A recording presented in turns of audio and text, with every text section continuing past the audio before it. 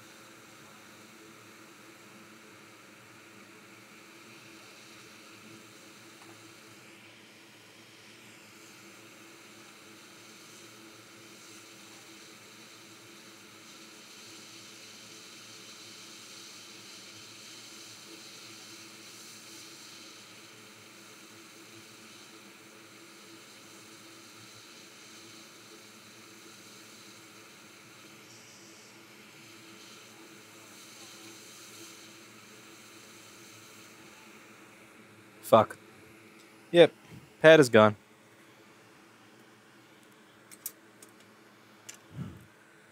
You saw I was going really slow there because I was hoping to preserve the pad. But who are we kidding? I'll show you in the schematic a little later why that is the first thing to blow.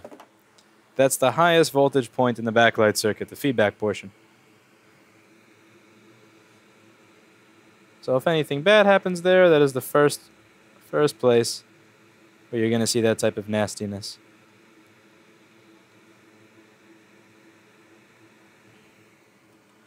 Now, usually I would like to have the balls be flat, and after the balls are flat, then I would put the chip on. However, here, I'm going to want the balls to have some something on them. Because the thing is, I'm going to have... In order to solder a wire in there, it's going to kind of be lifted up a little bit, and there's going to, you know, go. A little bit of gentle out of focus scraping there. So I'm going to shove a wire in there. And I'm going to keep that flux mess exactly as it is. I know some people are going to troll that, but the whole reason of keeping the flux mess there is it's going to keep my wire from blowing away, which I very desperately need. So, now for those of you who are in, haven't watched the other videos, what I use is a wire from a broken A1286 2011 battery, you know, any of this kind of stuff. But like any of those unibody batteries for the MacBook, MacBook Pro, the strands inside are perfect for this type of thing, for running a wire underneath a BGA chip. And the MacBook Air Ball A5 of the LED driver and the trace is the fuse. It's not the fuse, it's this.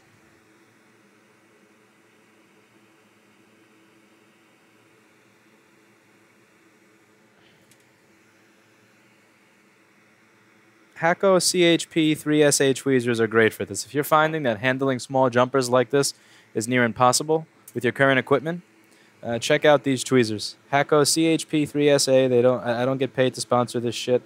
I pay for my tweezers full price on Amazon every time. The reason I like these is not because I get you know because there are a lot of trolls that say I get paid for recommendations and shit like that. Uh, the thing is, everybody likes Wiha tools, and I like their screwdrivers too but their tweezers are like 30 to 40 bucks. And for this type of work, they're just, uh, in, my, in my opinion, they suck. Uh, you know, they're, they're not bad tweezers, but for like this type of crap, they're just not what I need. Whereas the Hakko ones are like 5 to 15 bucks on Amazon Prime. And you, if you watch the eBay or Amazon video, you know how I feel about eBay and Amazon. Trust me, I'm not trying to give them any extra money. But the thing is uh, that they're cheap. I can get them quickly, and they fit the bill for this stuff much better than the other tools from the other company, so there's not really much I can say there.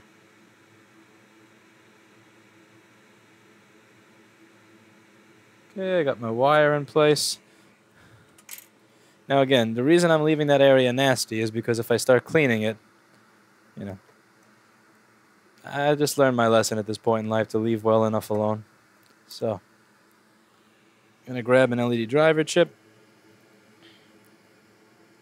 You know, you're welcome to ultrasonic the board after all of this is soldered, after all of it's in place, but before it's all in place, no thank you. That's just...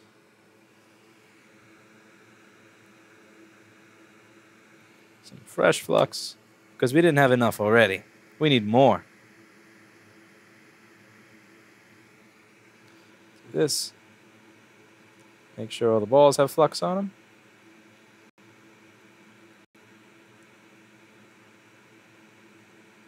Now the bottom right ball is going to flow into the wire instead of flowing into the into a into a pad, which is fine.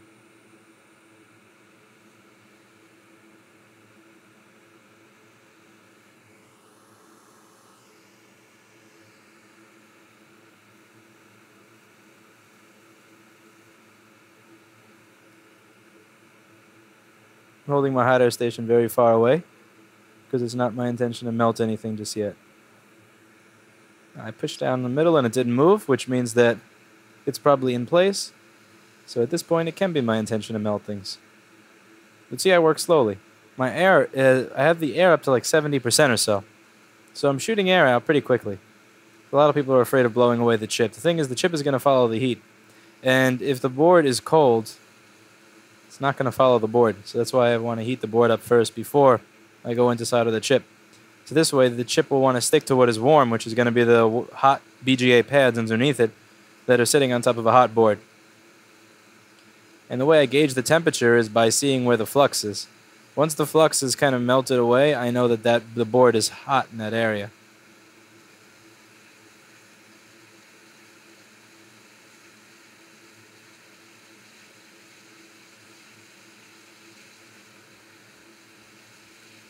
Now I go in close.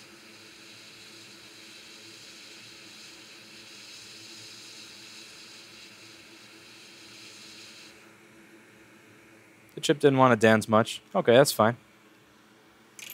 That's fine. Let's take a look and see what it looks like under here. Okay, it looks pretty shitty. Yeah, it looks pretty, pretty shitty. Let's try that again. See how all the balls are kind of the balls are stuck up. Those are some stuck up balls. Yeah. Okay. Pump the air up. And try this again. Probably just a shitty alignment job on my... Let's see.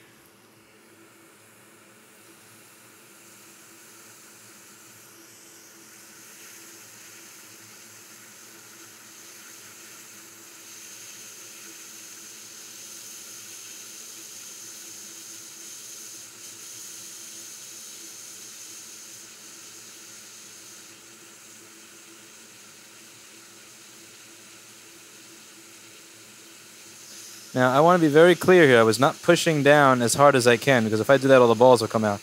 I was pushing down a tiny bit.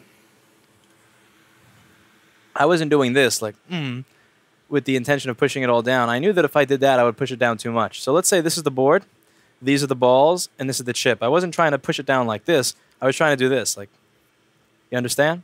I wasn't doing this. I wasn't pushing it all the way down, because if I push it all the way down, all those balls are going to come running out. I pushed it down like this just a little bit just to push it into place. That was how I corrected my mistake. And when you look at it now, the results are much better. So see, that's how you can correct a bad BGA solder job in case any of you suck like me and can't solder the stuff in properly. Let's get the microscope a little higher so you can see that better. See? Same chip, same everything, just corrected the bad soldering job, but is putting a tiny bit of pressure down. Now just to test a couple of other things. Let's see if the fuse is good. There's something funny about the, the, the backlight fuse in a MacBook Air. It, it virtually never goes bad. everything is the fuse in a MacBook Air besides the actual fuse. The ball of feedback, the LCD connector, the LCD cable. And because I said that out loud, this is one of the very, very few times the fuse is actually bad. Go fucking figure. Oh, so.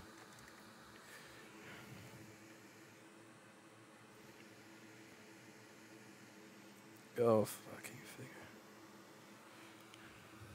That's the way it works. Just so you can see, I'm not making this up. I'm on the third fuse on this spool.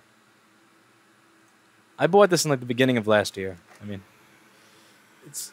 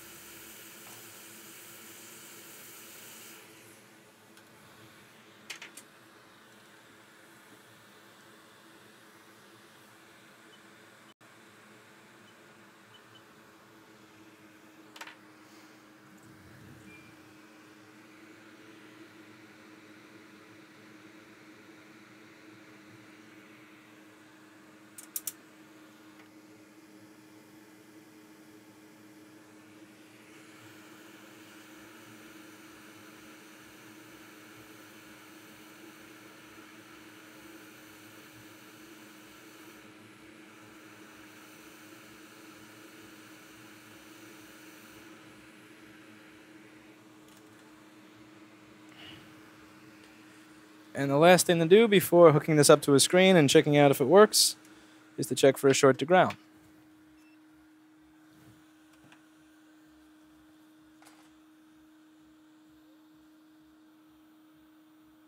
Nope. By the way, when I say that you can use diode mode as a method of troubleshooting or cheating, the number that you're going to get on a newly soldered circuit, particularly if it's still hot, is going to be totally different than the number that you're going to get on a circuit that's been used that also isn't still boiling hot. So with that said, let's plug in a screen here, see what I get. We have to get a DC in board. A fan would be useful just so we can see if it's turning on. Huh, I'm using the fan already.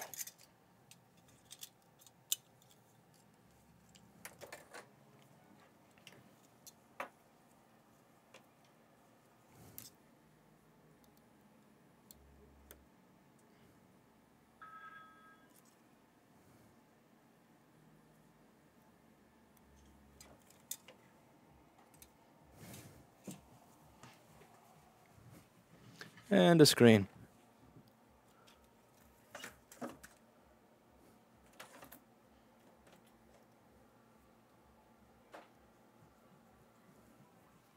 Do you have an air screen I can use to test this? Screen, that That's good.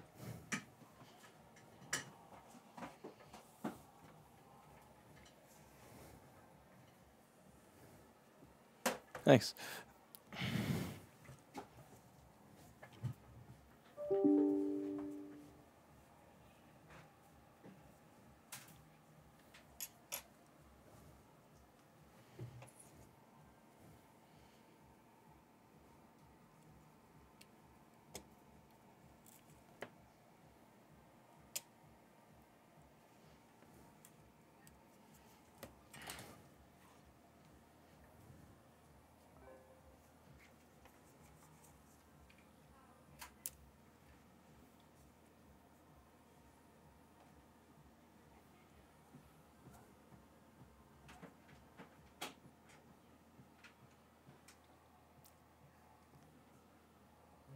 Oh, making a funny face at the camera while I was waiting. Look, it's beautiful. So that's how you can correct a um, bad BGA soldering job, and that's how you can see if it works, and that's also how you can run a jumper wire underneath a BGA chipset if there is a destroyed pad, which again, if you're doing anything to this specific model computer, you're going to be doing that like five times a week. Very common.